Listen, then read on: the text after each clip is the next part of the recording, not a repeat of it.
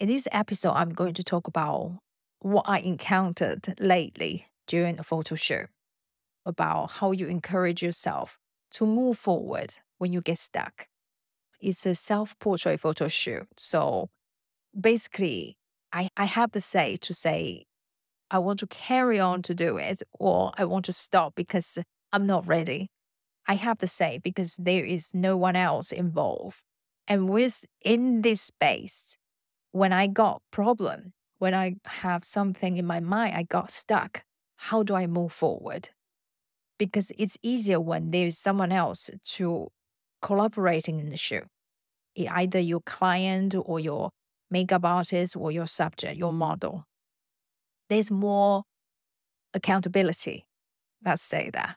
But if that is a self portrait with yourself, you have less accountability because you are the only one who has the accountability and you have a say for everything. And in this situation, how do you overcome the thought like, I don't want to do it now. Let me do it another day. Maybe it will be better I do it next day. Maybe it would be better I do more research and come back to do it this is the story about creating my image betrayal. Still, I'm working on this one. Eventually, I will make this how I create this image, make it into a course so you can see how I create this image. This is not ready yet. You'll have to wait. But I do have other online courses. Before we dive in, I want to let you know that if you're interested in learning more about the techniques I use in my photography, I offer online courses on our website. You can check these courses at portraitcreatives.com slash courses. So this is episode about how you encourage yourself to move forward when you get stuck. So here it is. I was in the studio last week to create the image I have been preparing for months. The image is called Betrayal.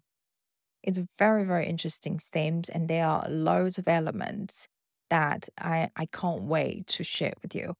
But at that time, I planned so many things my mood board, my styling, my dresses are made. I DIY my own outfits and the hair makeups all thought through.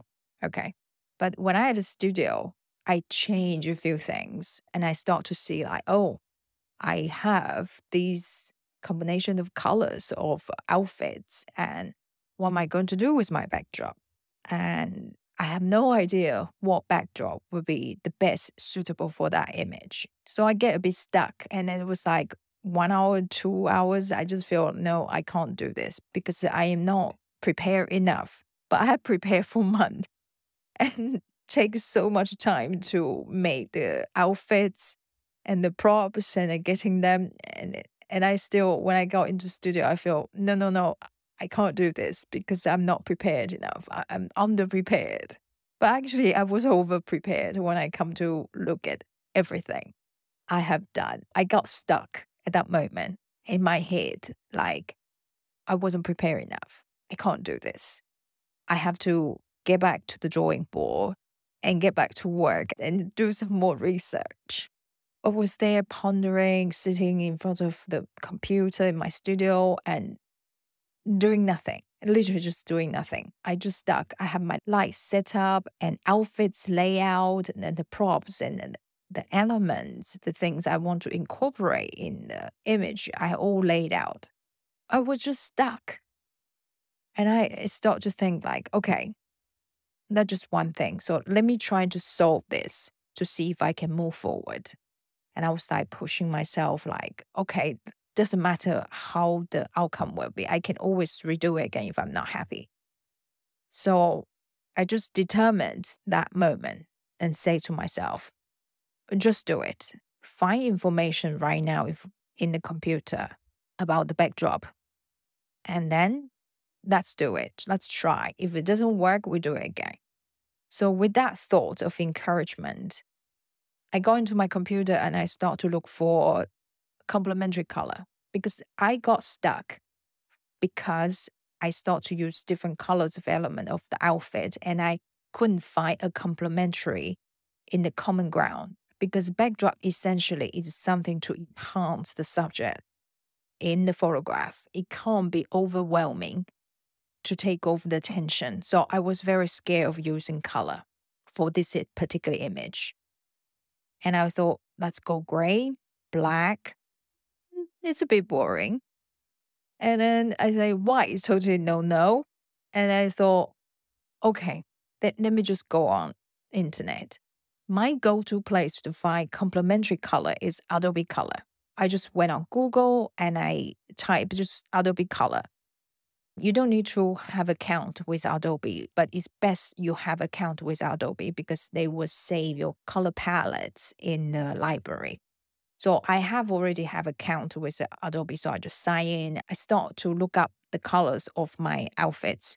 There's a method I use to get the right color, to get the precise color for Adobe Color. So I went on Adobe Color and I just type in the color number and then I start to play with analogues and complementary color, monochromatic, triad, double split, complementary, and all sorts of different things. Not just one set of color. And then I look for the color of another outfit. And I look it up the color and complementary color, analogous, split, complementary, square, all sorts of things. So there are all sorts of color harmony rules. There are quite a lot you can play with. So I start to use all these things and I finally, finally, I found there was one color that it stands out that I can use it to complement all, the colors I use in this image. In that moment, and then my mind is clear. And it happened to be the color I have a hand painted backdrop. I paint that backdrop. Mm-hmm. And that has been very useful for so many shoots, but I wasn't thinking that would work. But actually, Adobe Color shows that is the right color to choose. So I was very happy to find out that color would work. I went on to pull out that backdrop and I find another fabric I have in my studio because after years of photographing people, when I go travel, I often I just buy fabrics and bring back. And so I have a quite a good collection of different color and different type of fabric that I can use for photo shoot. So it happened to be like I have all these colors. So I was very happy then, just set up everything and I start to do the hair makeup and change into my outfit and I start to do the shoot. And it was much easier when the problem is solved. Actually, it was easy, just went on computer just to look up the color, but I didn't think of that. Like when I was preparing for the image, I was doing massive research, hours of hours of research. I love doing research because it's so interesting. learning new things is always very interesting for me. And then when I got into studio, I'm in the action mode. And for me, like, oh gosh, something like this question pop like, I don't know how to answer it. Like, what's the color of the backdrop? And I got stuck. But when I changed my mind to encourage myself, just do it and pick a color and maybe trying to solve this problem. And uh, what's the worst can happen?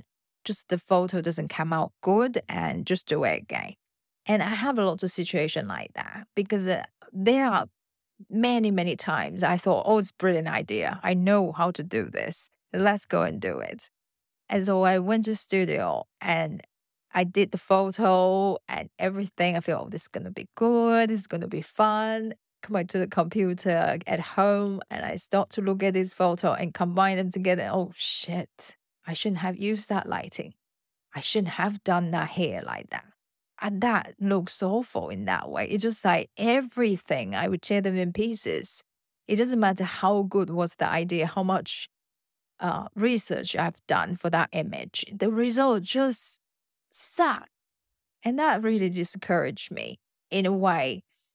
I feel a little bit disappointed, but I know I have to adjust all the element and get back in again, trying to shoot. And I have the idea like right now, but I'm still not sure all the alteration I will do for this image will eventually work but there is no way to find out but executing it. So that's the next thing I'm going to do in my studio. But anyway, I want to encourage everyone like when you get stuck, trying to move forward, even you just do a little bit, even you just move one step at a time, like tiny step, just trying to move forward and encourage yourself always. That's what I did. And that's how I managed to finish that shoot and come back home with an image that I feel, oh, this is amazing. I love it. And I can't wait to show you the image. And I can't wait to show everyone the image. And it's a great feeling to have. I hope this is helpful for any creators that are creating their own work. Because sometimes I feel we are very easy stuck in our head. And if we could change our mind to shift our mind to a different space, then we can move forward.